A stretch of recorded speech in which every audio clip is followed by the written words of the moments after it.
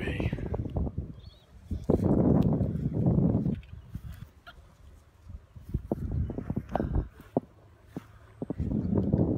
Cora, come on. Good girl.